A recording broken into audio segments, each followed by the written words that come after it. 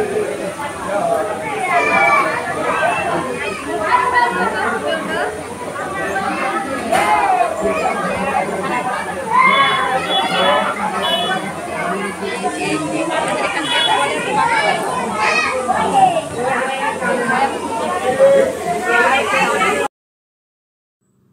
news Bangla খবর